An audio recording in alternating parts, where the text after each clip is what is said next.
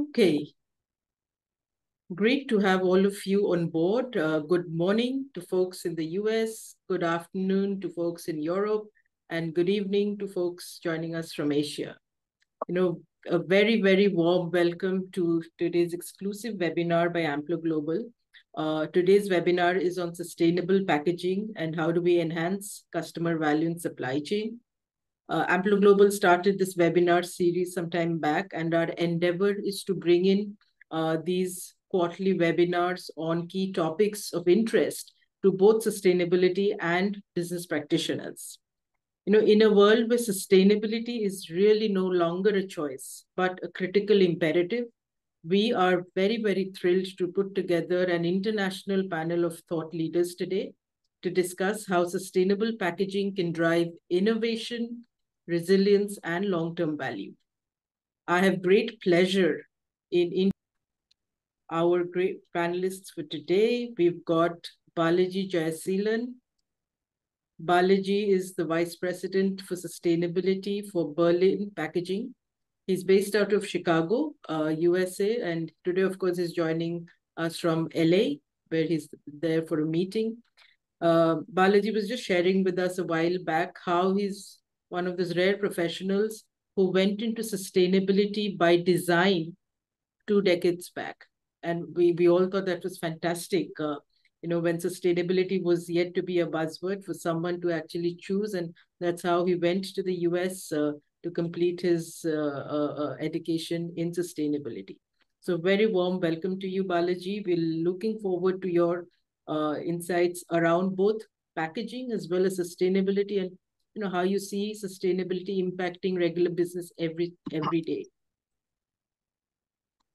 Our next speaker would be Dr. Ahmed Shawky Muhammad. Uh, Dr. Shawky is someone wearing multi, he's, he's had a you know very, very uh, interesting journey, uh, moved geographies, moved fields.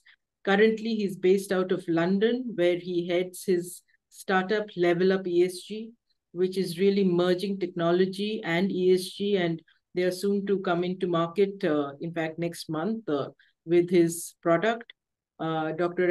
Uh, kind of moved into sustainability along the way, and today his his business is around merging ESG and tech. So very very warm welcome to you, Dr. Shawky. A fantastic welcome to Moitreyi Nayek. Moitreyi is the and Moitreyi represents like the the CXO group or the industry group. Uh, she, as she herself said, I'm not a, a sustainability professional, neither am I a techie, but sustainability and integration is what I do uh, as, as part of my role every day. So that's uh, fantastic. Moitreyi currently heads the glo is the Global Alliance head for digital engineering for persistent systems. He, she's based out of New York, uh, and uh, we are very, very happy to have her today. And our final panelist is Abhi Mitra. Abhi is again a techie and a digital transformation person who's now moved into ESG. And like he says, uh, you know, I did a lot of digital transformation things, but today ESG itself is such an enterprise-wide change management system uh, that that you know uh, I am bringing all my transformation skills to the table there. Uh, you know, it's just the shift is almost happening from tech to ESG in enterprise-wide transformation projects. Abhi also heads the Europe market for Amplo Global, and he's based out of Nottingham, UK. And uh, I'm Indrani. I'll be your moderator for the evening. Uh, by background, I'm an HR professional, uh, did HR for two decades. And like a lot of people here on this panel, kind of veered into ESG a couple of years back. ESG was an area of interest. And the more uh, you know involved I become with ESG, the more I get to learn and the more I realize just how much there is to learn and to do, you know, action, affirmative action. Great. So with that, I think, uh, uh, you know, we will dive straight into the, the panel uh, discussion today. Uh, you know, like, like I was mentioning, uh, sustainability and businesses cannot be separated today. You know, there are businesses increasingly facing pressure to align profit with purpose and we will explore how integrating sustainability into packaging strategies can really lead to stronger customer loyalty, better regulatory compliance, and a more resilient supply chain. And our focus today is, of course, ESG in the context of packaging and, and, and we'll unravel elements of the supply chain there. And, uh, you know, from packaging innovation and carbon accounting to climate financing and tech integration, we'll try and touch upon as many concepts as we can. So let's dive right into this and unpack how companies can embed sustainability into their core packaging strategies. So are we all ready for a great discussion? Great. And we, we also have more folks joining in, so I'll just let them in for a second and yeah, I'll get back. Okay, so let's let's have, uh, let's start uh, with the man who moved into sustainability by design two decades back, Balaji. You know, and you know, my my opening question to you really is, uh, how can companies uh, integrate sustainability into their packaging strategies without really, you know, uh, disturbing customer value or or impacting product integrity. Thanks, Indrani, for the introduction as well. And um, um, and good afternoon, good morning, everybody. Um, so to kind of give you an understanding about sustainability, product integrity, and value creation, uh, it's really not a mutually exclusive concept. Sustainability, especially in the world of packaging, but we can actually extrapolate that into any different sector is really about creating the value. So like any other group, like whether it is an information technology or whether it is marketing or any any other function, sustainability is really about creating the value. So it can really help companies to enhance the brand image. It can help based on the sector that what we have, really identify opportunities with respect to cost, like whether operational savings or whether it's a supply chain optimization play, but also if it is really done in the right way, basically integrated well within the business, it can provide you um, a market differentiation and a competitive advantage, which means to the fact that there is a lot more consumer preferences on sustainability today. So if you look upon a crowded market, how can I differentiate my particular brand with any other brand? Sustainability can really help, and especially on the packaging end, it really plays out really well if it is kind of done in the right particular way. So just to kind of foray into the sustainability packaging aspect of it, the most important thing is that is like in order to create the value for sustainability from a packaging point of view, we need to kind of really embrace what defines that value, right? For example, can this particular packaging create what we call it is from a design optimization perspective like you know can it really do the elements with respect to design to get a maximum benefit for that particular packaging which kind of stands out in the brand. So a good example which we work excuse me is on let's say if you work on the beverage sector having a very lightweighted wine bottle or basically a particular product that could be made a refill or a reuse particular bottle really helps the consumer to understand what are these benefits? What is the best way to kind of use this particular product kind of really enhances the portfolio as a part of it? And the second thing if you really think about from a sustainable packaging side there is a lot of innovation that's happening. So it's not only on the design optimization that can happen but there is also the world where we can innovate some new materials.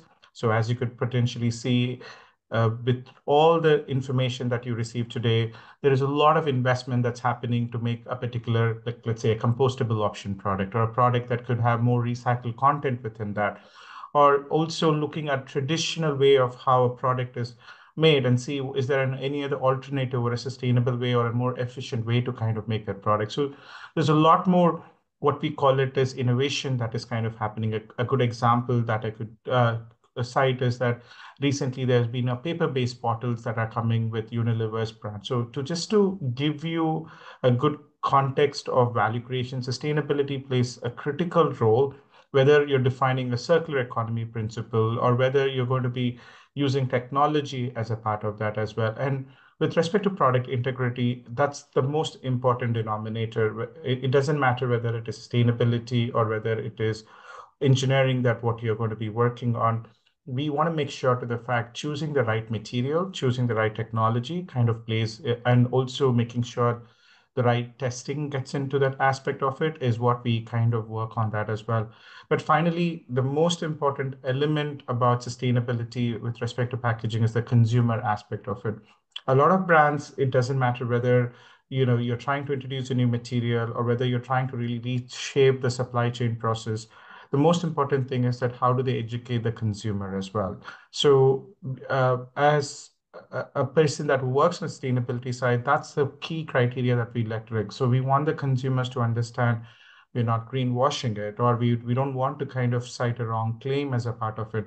So as a consumer, when I'm buying that particular product, I feel comfortable that this brand has done all the necessary things that they have done to create that value as well. So to just to kind of summarize this overall context of that is sustainability and value creation are definitely mutually exclusive. In fact, sustainability adds the flavor to actually make that product better. And the successful brands are the ones who can integrate those particular value and take it to the next level. Wonderful, wonderful. I think uh, the the insight you brought in on how they are uh, exclusive and inclusive at the same time, and how one adds to the other. That was very very nice, and I think a great conversation starter for to set the tone for the for the webinar.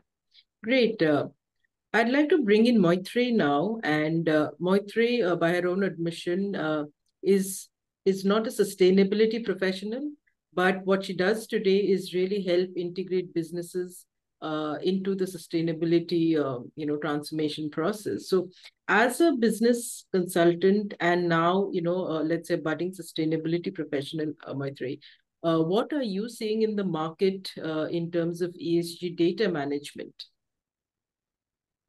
Excellent question, and uh, thank you for having me with this excellent um, panel.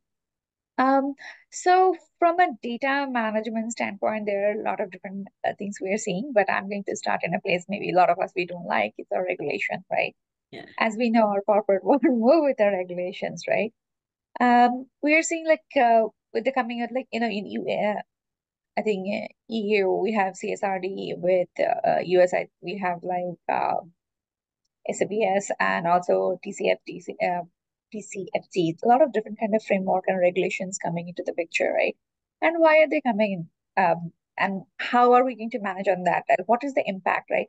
We are seeing a lot of our customers are having are, are kind of forced to go into that directions in discussion, and this change happened, I will say, in very recent future. It's not like everyone was thinking when I will say ESG has been a buzzword for a long time, but now organizations are thinking why they're thinking because of at the end of the day the financial component of it right the investors and others and that is where i will say as a corporate uh, individual consciousness is there but as a corporate as an organization enterprise are looking into those that we'll have to uh, fulfill this regulatory requirement um, so a lot of data collections are happening uh, thanks to a lot of new technologies that we are seeing which was not there before right so organizations are doing a different digital transformation. So there are a lot of data collections from different ERP system, um, different IoT devices are happening. There are a lot of complexity also in collecting this data, right?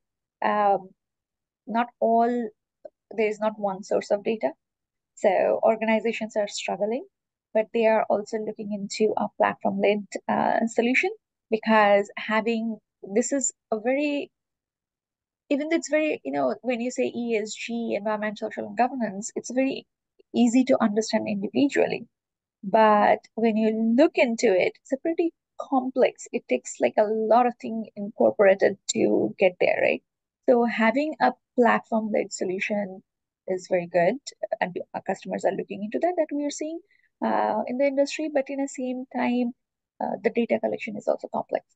Um, there are, you know, I, I see here so many uh, like uh, professionals. We are we are like you know by choice, by focus, by education, are focusing on that. But that's not the case in a industry, right? Even what data to collect, that is a very complex thought process. So that is where a um, lot of domain knowledge, uh, industry vertical wise domain knowledge is needed. Those things are very saying. So we can definitely uh, like complexity part of the data collections. That is uh, one thing we are looking into like from a very granular data from our IoT devices to like uh, focusing on uh, all different, you know, scope one, scope two, and scope three data. Uh, just to be non-ESG language, like what is the emissions or what is like what the what is the emission like uh, organizations are uh, creating. Like if, even I'm going to give a very simple example of if you think when you uh, like I live in a New York City and I have seen a lot of people saying that, oh, I'm very carbon neutral kind of person, right? My organization is a very conscious person. But how you collect the data, like all different, like it's not like what is the what are the like if you work for a simple bank, even the armor truck that takes the uh, you know currencies and others, right? That is also creating um, uh, some kind of emission. Then you as a professional going walking to your uh, like taking a transportation and going like uh, there is also the, the part of the data. So if you want to see what is your carbon footprint or anything like that, ESG wise, if you have to consciously think that what you are contributing, that collection of that data is extremely complex. So we're seeing smaller, more like question, worriness in the industry, and also trying to support everything with their data. Either it's to satisfy the investors or regulators and all of those things coming. A lot of investors are also focusing on third party auditing. So it's not going to be uh, just like looking into that, hey, this is what I do and all of this kind of thing, right? Um, and that is where I will say investors are asking for uh, complex data, um, also clarity from that. Another very interesting thing we are seeing, or previously, you know, supply chain used to be very much like manufacturing industry discussion. Now that has changed, especially I will say after uh, like post pandemic, because we saw the hit what it happens, right? And I will say the consciousness or byproduct kind of became ESG as well. Because when you start mapping who is my supplier and how I can prevent another pandemic or another crisis situation, more uh, mapping is being done. People are looking into that more. Organizations are looking into that kind of data. So those complex data are coming into the picture. And when you're throwing them in one place, you are getting a lot of other things that, okay, it's not like what I'm generating here, calling it as a very organic, sustainable product or, uh, you know, operative operating model. That has a lot of other implications, right? So supply chain is also kind of contributing in a uh, consciousness uh, level, I will say. There are a lot of risk uh, because not all, all the organizations are very mature in collecting those data. Uh, it's not that the, the data is not there, but capturing the correct data is also um, a very uh, like important aspect. And we are seeing that more consciousness around it that is happening. Uh, processes are there. Um, in fact, one of the very interesting uh, thing people don't think about, right? Blockchain. Blockchain can help you to kind of map a lot of uh, data without like any chances of alterations to just meet some goals, right? Because I have seen even in a very conscious group the question that, okay, we are doing all of this data collections. How do we know that these are accurate data? Um, so yes, there are a lot of different technology uh, embarrassments happening. Technologies are coming. Technologies are there. Um, so we are we are seeing those impact. Um, focus are increasing on data to how to kind of see the story of, and awareness and discussions is also happening and it is not only just individual level anymore it is in a very corporate industry level Wow, wow. You know, in fact, as you were describing uh, the, the challenges and what you've seen on the ground, uh, I think a, a, thought struck me was that, you know, these challenges would be common to any enterprise-wide big change management or big transformation efforts, right? It all starts, uh, companies struggle to bring in data-driven decisioning in their key areas. And uh, I think, I guess sustainability is no different. And uh, you know, thank you for mentioning the the huge efforts required on collection and then on on the data integrity, on ensuring that the, the integrity of the data is there. And uh, yeah, I think that was a very nice uh, allusion to a blockchain. I mean, indeed, it can it can actually help uh, maintain integrity of the data. Very nice. And I think uh, you know if if we have time, we'll we'll delve a little bit deeper into that. But uh, you know, from data, let me now move into a little bit of pure plan and pure uh, uh, term. Um, may I invite Dr. Shawky? And, uh, you know, the carbon accounting is a term that I think most of us have heard. Some of us understand it. Some of us don't really understand what it is entirely. Uh, I'd like to ask you, uh, Dr. Shawky, you know, how can robust carbon accounting practices help businesses meet their net zero, uh, you know, targets while ensuring that in the long term, you know, the carbon reduction strategies are also being met? And, and may I just request you to just maybe in a, in a simple line or two to also break it down, uh, the carbon accounting concept, break it down for some of us who may not really understand it technically. Yeah. yeah. Thank you. Thank you so much. Thank you again for this important question, but I have something to uh, add to what Moitreyi mentioned about data collection because it's critical, really. Uh, a recent study showed that companies take in average over 8,000 hours to collect their ESG data. That's four FTEs, four full-time employees working to collect data. Uh, just a topic that I'm really passionate about, and I can bring lots of data around that. Uh, going back to carbon and robust carbon accounting, breaking breaking down or bringing the basics first. What does carbon accounting mean? It is the process of measuring and reporting greenhouse gases, GHG emission, and this process involves really quantifying, measuring, calculating the amount of emission produced by a company's operations, products, and services.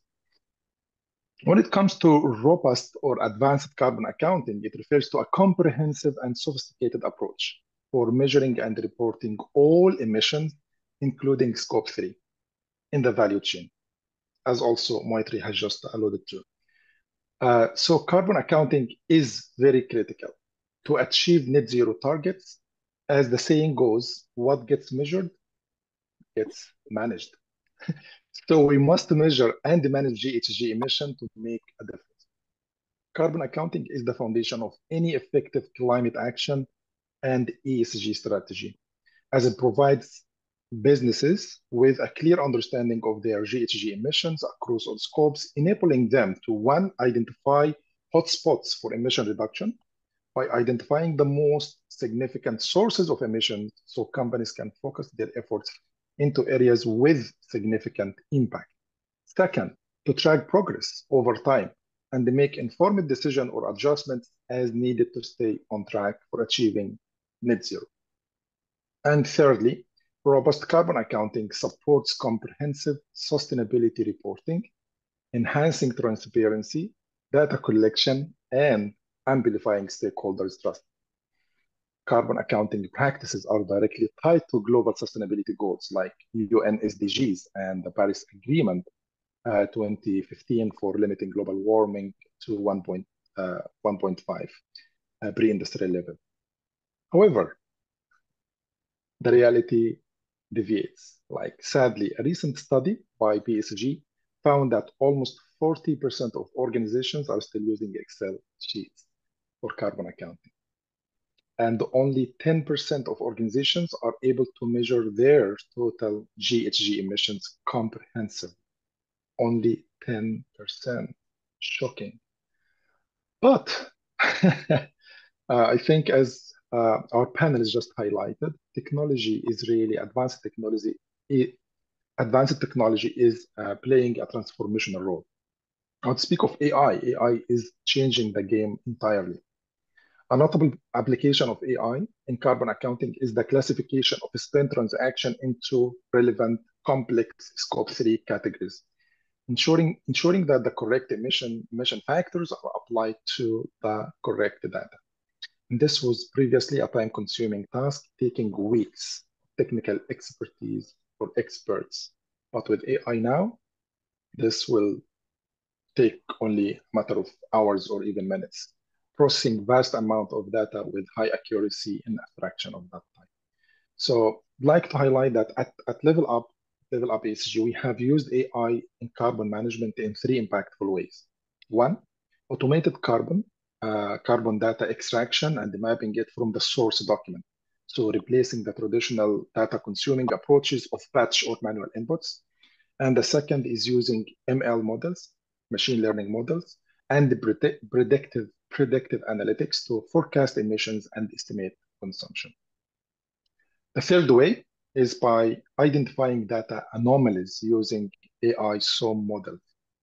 So we can mitigate greenwashing. Um, to summarize, robust carbon accounting is not just a tool for measurement, it is a strategic asset that drives long-term carbon reduction strategies. And by leveraging advanced technologies like AI, businesses can transform their approach to emission management and hit the triple bottom line, profit, people, and the planet. I hope I addressed your question. Oh, wonderful. I think, uh, and you also, you know, thank you for breaking it down into simple uh, definitions and stepwise. It was, you know, you really simplified the, thank you for that because, uh, you know, it's, it's a term that we keep hearing, but at least uh, I, I certainly gained from this. Thank you so much for that. Uh, and, and I think the other takeaway for me personally is that like in every other field, uh, even in, in ESG data management and carbon accounting in particular, uh, you you know AI and ML is here to stay. And you mentioned another thing on around predictive analytics uh, on forecasting emissions. I think th that's a very very interesting area. You know. Um, to use predictive analytics to forecast emissions, I think uh, that, that should be really next level. Fabulous. Thank you. And uh, maybe we might come back to this if, if there are some questions around that again, for the audience. Great. Uh, you know, from carbon accounting, I do want to move into another term that we keep hearing, and that's climate financing. And uh, I'll, I'll bring in Abhi here. Uh, Abhi's handled large-scale enterprise-wide transformations. And uh, there, uh, you know, uh, he was he was discussing the change management processes uh, some time back, and it was very, very interesting. So my question to Abhi is really, uh, how can companies use climate financing to balance uh, costs and benefits, you know, while uh, uh they are on the sustainability agenda? And, and uh, you know, may I also request Abhi to break down climate financing into a simple definition for, for the benefit of some of us uh, who are not green professionals? Excellent. thank you, Indrani. Great question actually, you know, when I see the journey of the questions, we are all talking, oh, we need this, we need that. It's very costly, it's very expensive, it's really complicated. Eventually, when it comes to the CSO, Chief Sustainability Officer, the Chief Sustainability Officer needs to build the case mm -hmm. because the, the purse is held by the CFO. The CFO is telling that, you know, in God I believe, everyone else bring evidence. So why should I be spending that money? And so it comes to who is going to bell the cat? How do I unlock the CFO's first string to finance what I want to do? And that is where climate financing comes in. So, you know, we talked about the risk. We talked about the regulation. So any and every program that we execute to mitigate that risk to meet that regulation, to meet that, uh, to uh, to kind of achieve our obligation to, so for that matter, the Paris Paris Agreement. Any project that we execute, the money that goes for it is what I would is classified as climate financing. So, what are the things that are would be the finance through climate financing? Things like regulatory things, greenhouse gas emission, carbon footprint, meeting the Paris Agreement obligation. Climate risks, say for example, that for a supply chain, that how do I make sure that you know the sourcing is from uh, locations that are uh, that are uh, immune to cl climate risk, or for that matter, what are the places where I, I'm getting it from? Then it comes to unlocking investors or in getting the investors investment in to finance them. Increasingly, we are seeing the big banks, the big investors, they are looking into evidence for the companies to prove that they are into sustainability, they are executing the sustainability obligations or commitments uh, for, for them to invest in. Also, what is coming up is there are many regions that are coming up, what I would call the green markets. You could only operate in those markets if you are a, running a sustainable business. And lastly, it is preparedness for the future because increasingly regulations are going to come in. So yes, as far as the organization is concerned, there are a lot of moving objects. It is quite a task to assess that where my risks are, what I would call portfolio analysis of my risk. It's quite as touched upon by Moitreyi, uh, Ahmed, and the rest of the all of the panel, Balaji, that you know it is a daunting task to gather the information that I need to prepare my case. And I'm very glad to share that uh, Amplify 4.0 platform is one such product that is really helping the organization to bring that, give them the technology and with the under uh, the data that underpins it to do what I would call the benchmarking. And we are doing that, including in the packaging industry. Do the benchmarking as to what the regulation is, what the climate risks are, what are my peers doing to figure out where I sit in the market. Using the product also, the risk assessment module, I am able to determine, organization is able to determine, get a clear picture of the regulatory climate and the other opportunities to come up with a plan of action, or as I would call the roadmap of activities that they need to do, along with the very clear-cut kind of a milestones of things that need to be done, and it is and also having a rack status to determine what needs to be done in the priority order to unlock myself into the opportunities that I listed upon, get into the green market, or meet my regulatory obligation, or for that matter, uh, meet my carbon commitments. So the next stage is to prepare the business. Case. So now we are able to, the CSO is able to prepare the business case with facts in hand, that this is where I stand, this is what my risk is, and without doing these actions, we are, these, uh, this is what we are looking at for ourselves. As a result, what happens is we are able to create a business case. That is what the climate finance business case is, with very clear return on investment, getting the things like getting on the right side of the regulation, meeting the our carbon footprint obligation. It is elevating the company's brand value out there in the market, ability to attract the investors, and obviously to also unlock opportunities into operating into the green markets. So yes, there is a lot of opportunities to unlock, but at the same time, various organizations are in various stages to unlock that uh, climate financing. Not only looking at the return of investment, the company's leadership are seeing the value in it, unlock the money. At the same time, there is a lot of support uh, or government funding uh, that, that are also available. Example, government grants, uh, green bonds, to name a few that the companies can use to, you know, execute those programs. So that's in nutshell, uh, the climate finance part of it. So when we come to what is the carbon offset, so using doing my climate finance initiative, I have I have able to kind of meet my carbon obligations as that I am committing to. The rest is to fast track my carbon net zero. Say, for example, as an organization, I want to get net zero by 2030. So through my climate financing programs, I'm able to achieve a percentage of it. The rest of the percentage, what I could do is I could pay for projects programs that will do it.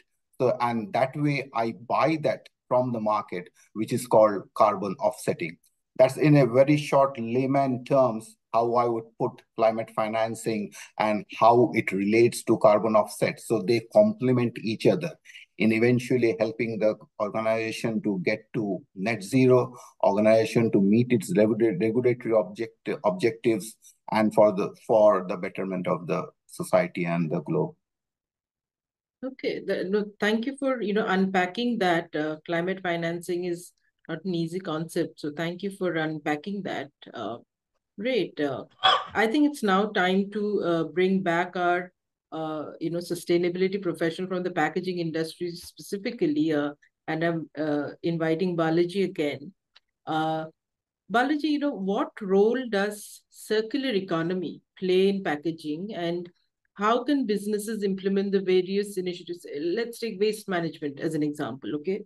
Waste reduction while addressing, because it's now no more just the organization themselves, but, you know, you have to address scope three emissions across the entire supply chain. So if you can, you know, just help us connect these dots around circular economy, scope three, the entire supply chain, and you know waste reduction any such strategy how do you ensure that it's implemented throughout your supply chain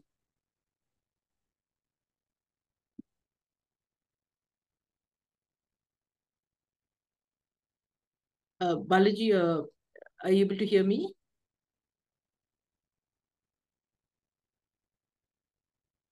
Okay, that question was for Balaji, but I am not sure if he is. Uh... Oh, okay. Balaji had a network issue. So I'll, I'll just repeat the question.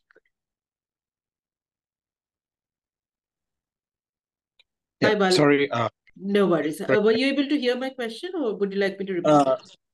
Just in the last 15 seconds because my system. Oh, okay. Okay. Okay. No worries. No worries. No, so my question was uh, uh, uh really uh, uh, to the uh, supply chain professional, uh, to the sustainability professional who's also working in the packaging industry, and uh, wanted to understand that uh, how can companies, uh, I mean, I mean, what role does circular economy really play in packaging?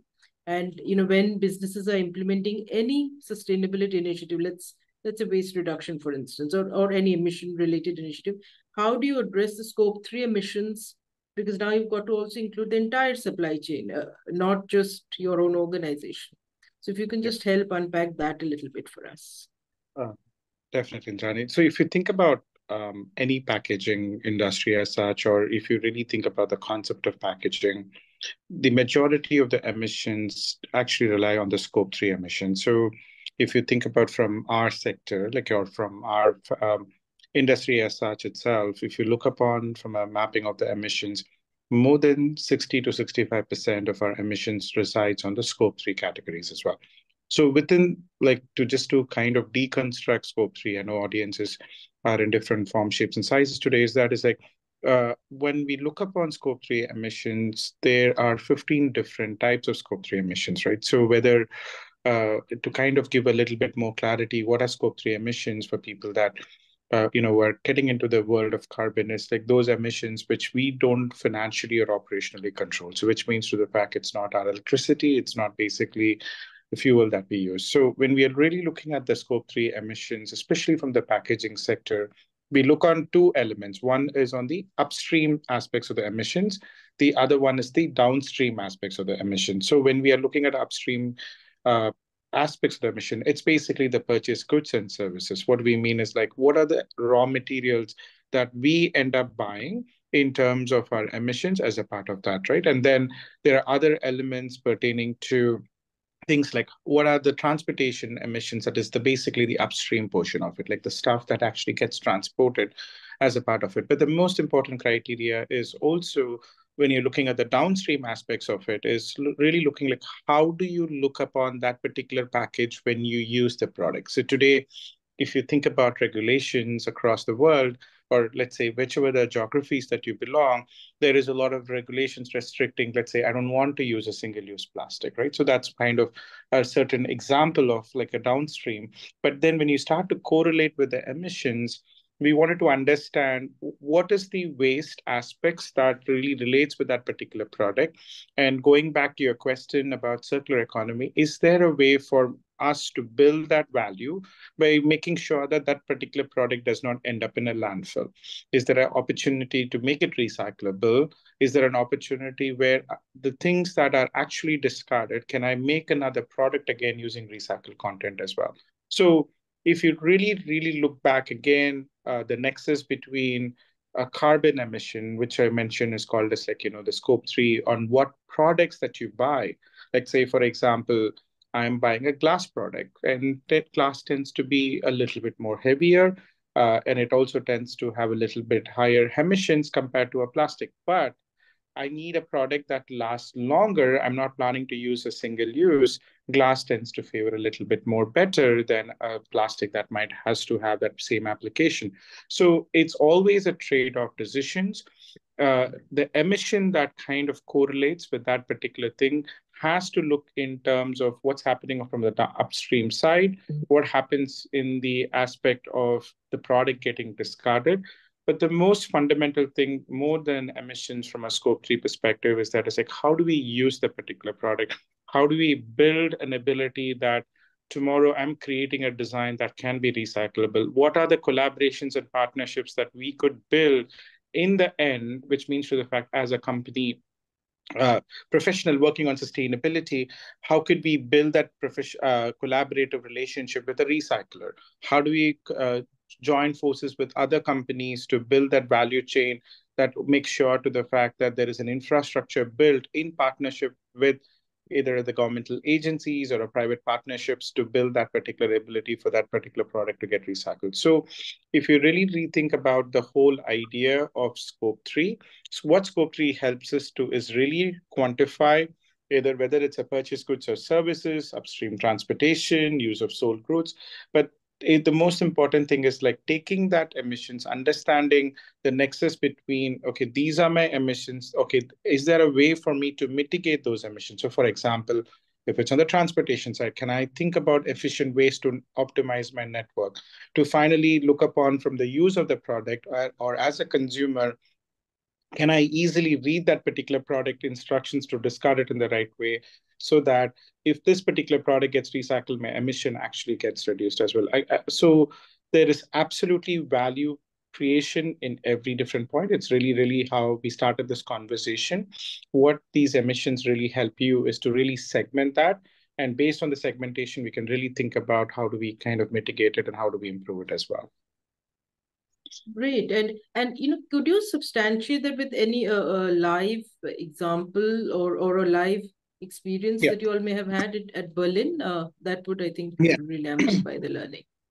Sure. So I'll give you a good uh, example of a recent project that I had worked uh, with. So this particular company makes uh, laundry and detergent products, right? It's very uh, a very effective uh, laundry detergent using plant enzymes. So it was really something that they felt that they had a sustainability ingredient in place because it was all done.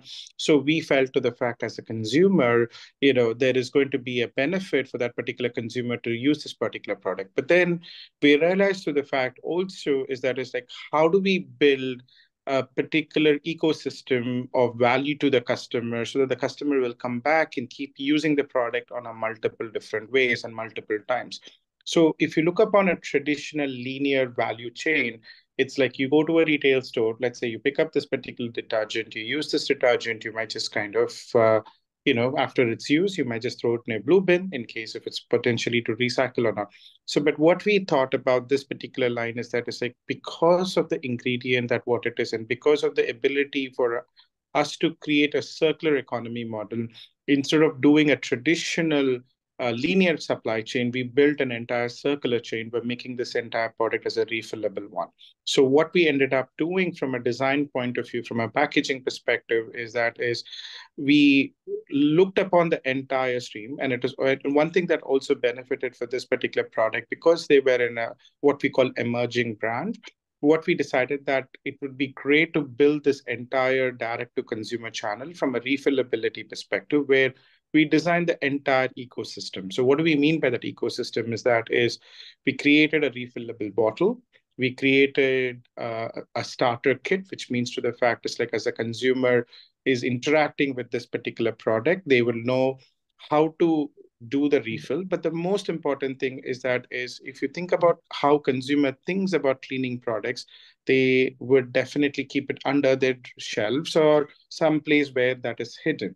So what we said to the fact, is there an opportunity for us to make this particular product that they could actually keep it on their living room? So we completely changed the design of how a cleaning product should look and made it a little bit more attractive. And what do we mean by very attractive is that we made using a glass bottle with a silicon rubber so that it looks like a good living room product that they could keep it on this one. So there is a visibility for that particular product. And even when the refill, like whenever the concentration goes down, we would be able to get a refill. And we actually built a track and trace technology for that as well, so that there is an ability for the consumer to get back.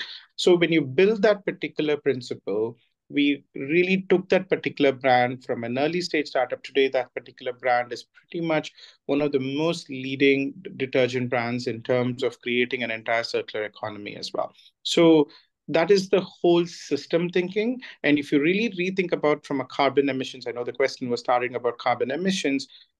The current carbon emissions before this refill, uh, let's say it was around uh, 65 kilograms of CO2 per bottle, but today they are refilling this particular bottle more than five to 10 times. It is currently less than seven kilograms. So there is a significant carbon reduction, more than 80 to 90% by introducing the concept. Again, it does not happen in day one. That's something about sustainability. It is a process of helping the consumer to think in a different way. Uh, but you also have to help the consumer to think in a different way. You need to build your supply chain. And the most important thing is the fact is like, it's almost like an ecosystem of a story where we are constantly interacting with the customer and making sure it, it is done right and we learn the lessons as a part of it. Wow, what a fascinating example of, of really turning a, a washing thing into a you know an into an item that you would actually like to display in your living room, and then also embedding it with the track and trace uh, technology. Fabulous example. Thank you for sharing that and, and, and your response before that. Wonderful. Great. Uh, I want to move to Dr. Shawky again. Uh, and, uh, you know, let's assume that, let's say I'm representing a packaging company, uh, a mid-sized small, you know, just mid-sized packaging company where I'm now uh, required to uh, comply. I want to reduce my uh, pack, uh, my uh, you know sustainability. Uh, I want to be sure of my impact on the planet. I'm a kind of a small moving to medium-sized packaging company based out of Europe. And I want to obviously be also compliant, let's say, with CSRD and other regulations. Now, if that was the context, and you earlier mentioned about carbon accounting and, and how you know technology is also getting merged with it, uh, can you help this small medium company uh, get onto the right start uh, using concepts of carbon accounting? Can carbon accounting help this company basically become not just compliant uh, uh, around CSRD and other things, but also truly, you know, be on the sustainability journey?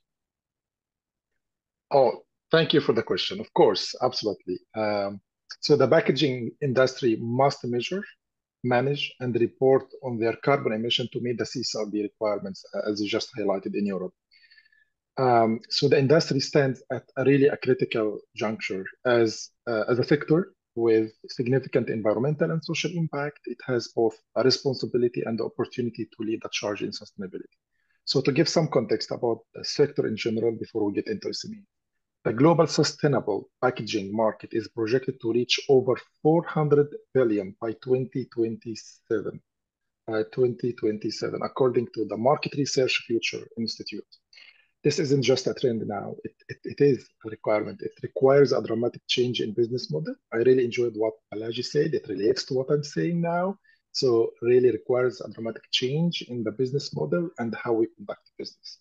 So CSRD mandates comprehensive sustainability reporting, including a detailed disclosure of environmental impacts like biodiversity and GHG emissions. So robust carbon uh, accounting can help SMEs and larger organizations equally really in the packaging uh, sector in four, in four impactful ways. One, meet disclosure requirements by providing accurate, comprehensive data on GHG emissions across all scopes. Second, set scientific-based targets aligned with global climate goals. Third, track progress by allowing for year-on-year or month-or-month comparisons and the progress reporting. The fourth way is guiding innovation. I like also how Balaji highlighted the importance of innovation in the industry. So what I would like to add really is about the carbon accounting isn't just about numbers, it's about insights. By highlighting areas of high emissions, we can focus on innovation, um, our innovation uh, efforts on where they will have most impact. For example, a recent study by McKinsey, I like to bring the numbers, found that sustainable packaging innovation could reduce plastic waste by 20% and create uh, between 10 to 15 billion value annually in the industry.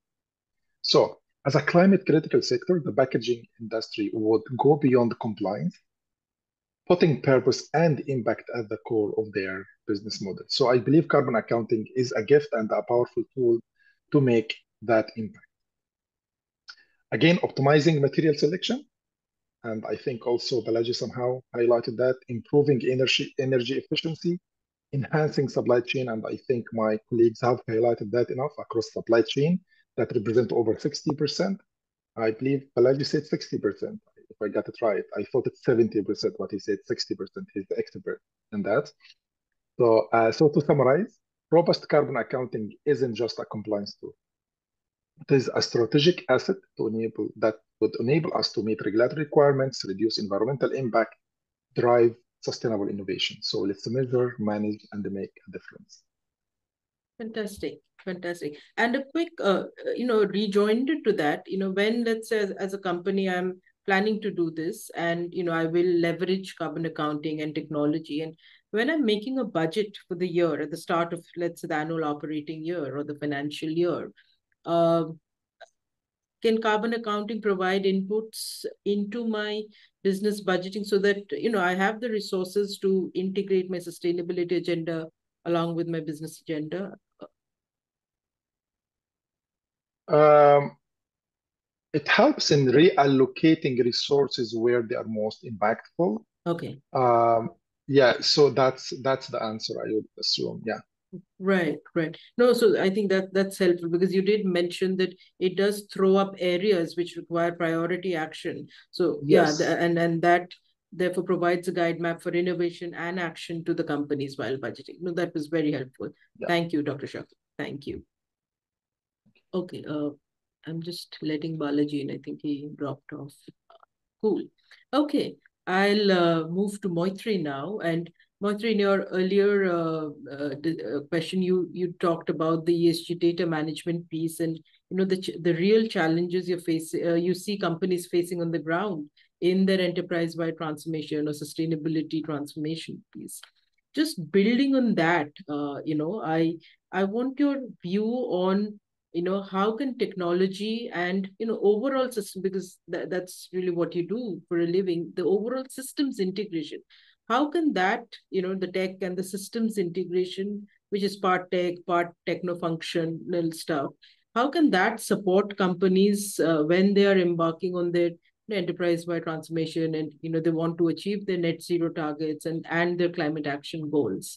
How what's been your experience as you help companies uh, integrate their sustainability agenda and their you know enterprise-wide goals using tech and systems integration principles? This is an exciting question. Um, so why it is exciting, right? As we are talking about this whole financing part of it and how to do, you know, net zero and all of this kind of things. This is like how you stitch it, stitch it all, right? So I can tell you as an SI company or even Amplo Global is very helpful in this kind of situation. What we can help or how we can make this happen, right? Um, we can help you in efficient data collection, uh, real-time monitoring, like efficient, you know, uh, decision making. There is like a 20 different things we can do, but I'm going to touch on few of them, which I feel like very important and it's pretty much like in everyone's mind. Like end-to-end integration part of it, right?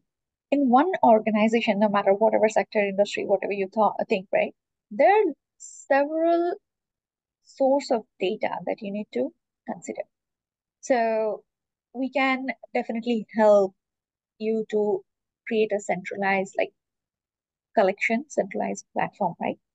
Because it's not, uh, I will say like, still I know some organization that when we're having a conversation with our customer, they're like, oh, I'm under compliance. I know. How do you know?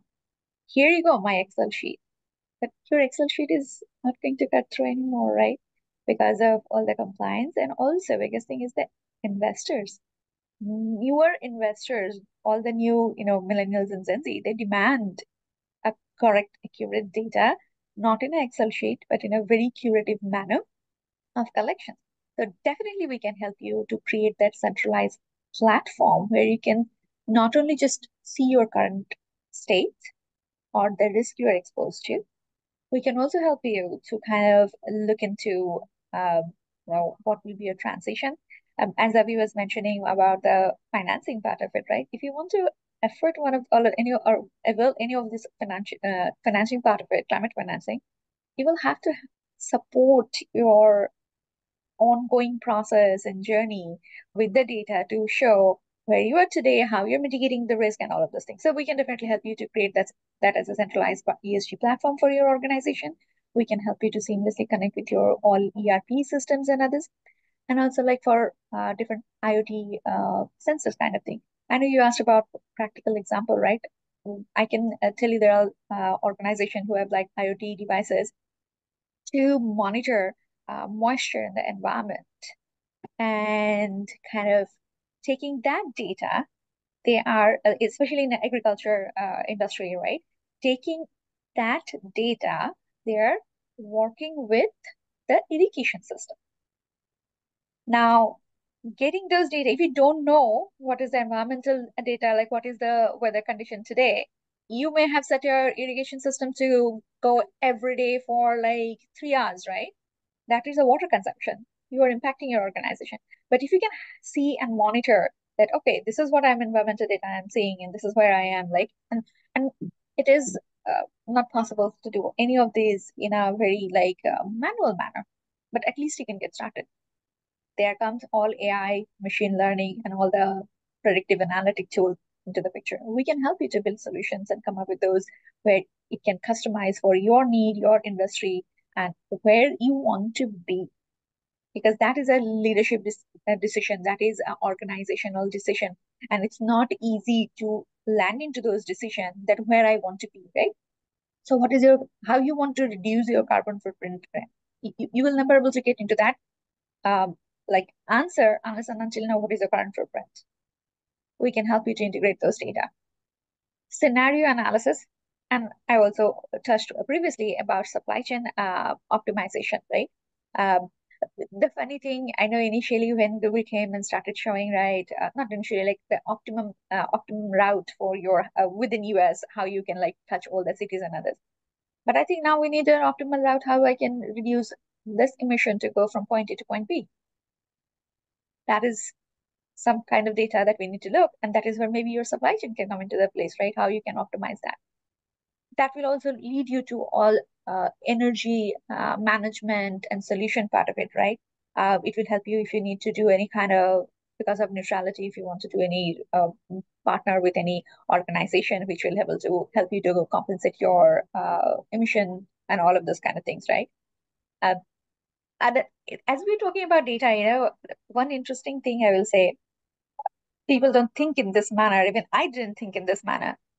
I believe in 2022, there was a survey was done and data center itself, they consume 2% of the world elect electricity demand in a year. Just think about it. I think it is around 460 uh, terawatt. So the 2% of entire world's electricity demand is being consumed by a data center. That's wow. a huge, right? Wow. So that kind of shows as a human race, we're already so late in the game. So how do we expedite that? That is where like efficiency, collecting the data, looking into the, you know, just dropping on the act and looking into actually where we are uh, first and foremost, understanding that. So as an organization, like I'm definitely I'm biased to my organization, right? As a Persistent, we work very closely on that. A lot of organizations are creating nowadays excellent uh, uh, customer experience centers and all of those things. Before you do that, you can literally measure and see that, okay, maybe I can, what is the impact is going to do? Like whatever the new creation I'm doing, as even Balaji was mentioning, like one product you're creating, what is the impact on all of those things you can do and you can see. And that is where I will say a lot of digital twin solutions are coming into the picture. So also a lot of like environmental, um, like especially disaster management wise, right? Uh, climate analysis wise, if you have a particular, uh, let's say, office or a unit in certain uh, area where it is like a very uh, risk prone uh, from natural calamities and others, right? Um, so you can look into that with your digital twin. You can ahead of time you can see how to do the business continuity and also reducing the damage or what will be your uh, plan in case of calamities and others, right? So that is where also we can help you with a lot of different uh, solutions uh, as a system, like, you know, technology company.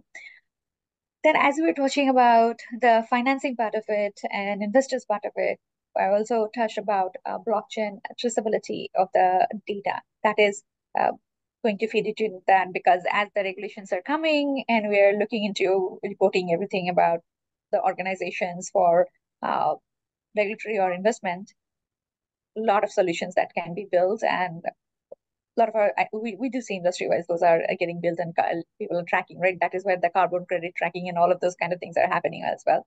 Wow. Um i already wow. touched about cloud computing and sustainability flexibility kind of thing right it's not that oh i went to cloud and all things are done i'm very carbon neutral company now you also need to know that which cloud you're using how much are you consuming what is the impact you're creating as well right um, so to be you know, to, to, to discuss. There's a lot of different kind of things we can do, and I may sound like a little bit of marketing thing, but yes, um, any organization, I will advise if you want to work like you know, organize domain organizations like domain companies or like you know, Global with their platform, and also like SIs like us.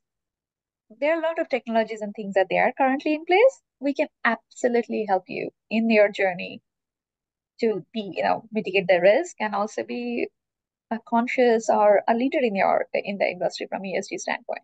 Wow, I hope I answered your question. Oh, right? you know, in fact, I wish we had more time. In fact, you've given us, uh, given me certainly the idea for the next topic for the next webinar, and I think we need a full webinar on just ESG tech and you know unpacking each of those elements because it's just it's suddenly become just high high tech kind of uh, industry yes uh, you know even even one thing i will also touch I, I, you know we don't think in a conscious uh, conscious manner our employee and their training and how they are going on moving into right uh, we're so excited about all of these uh, chat gpt or uh, gen ai technologies but as an organization i think you need a time to do the transition or educate your entire employees or your you know workforce to make that positive impact also, which is a part of the governance and sustainability part of it as well, right? So if you don't know where your employee stands and their education level and others, you're not, will not able to do that. So it's not like just a manufacturing industry or something like that. It is applicable to anyone and everyone where we can build several solutions. Absolutely, absolutely. And I think we'll need, like I mentioned, a whole webinar on that.